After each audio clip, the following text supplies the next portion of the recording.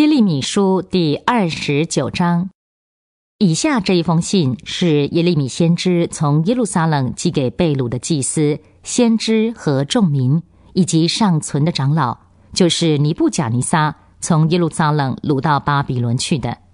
这是在耶哥尼亚王太后宫中的臣宰、犹大和耶路撒冷的领袖、工匠和铁匠从耶路撒冷被掳走以后。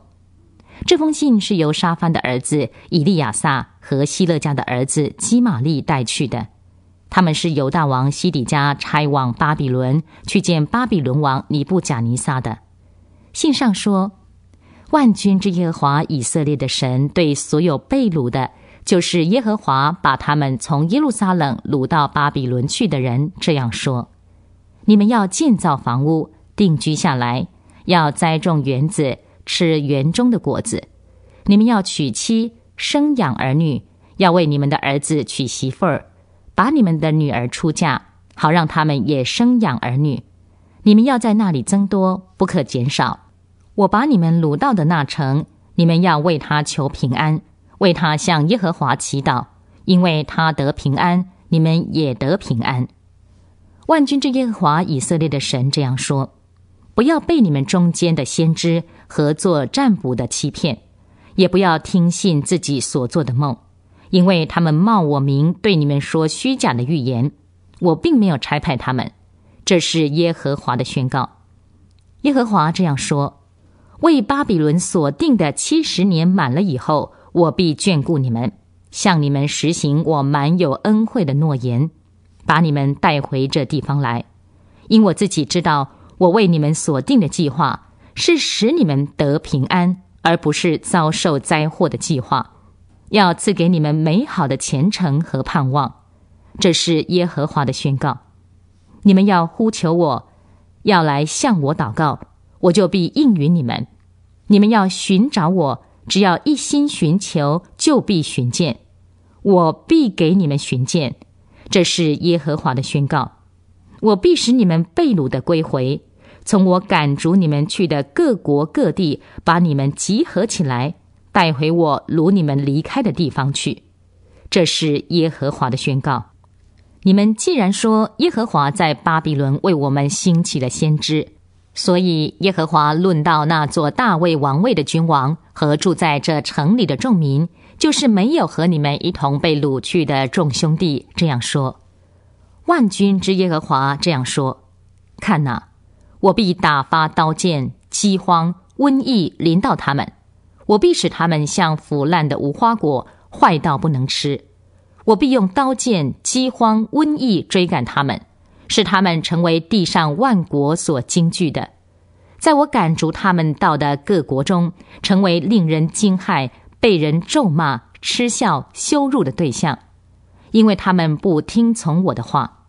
这是耶和华的宣告，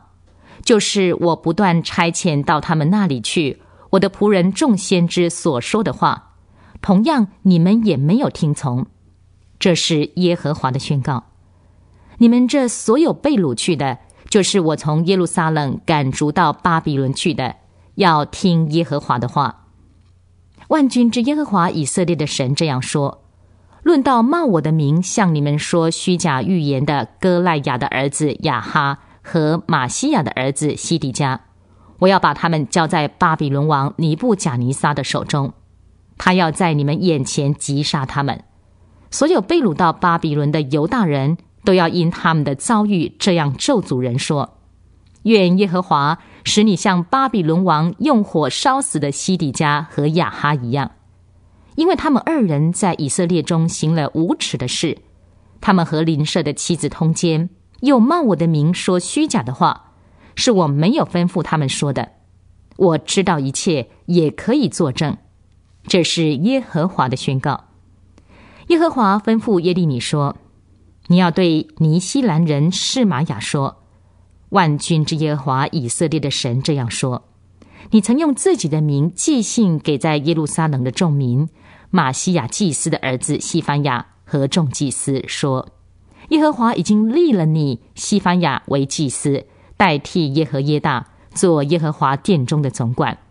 你就应把所有妄自说预言的人都带上脚镣枷锁。现在亚拿图人耶利米向你们说预言，你为什么不斥责他呢？因为他寄信给我们在巴比伦的人说，被掳的时期必会长久，所以你们要建造房屋，定居下来，也要栽植园子，吃园中的果子。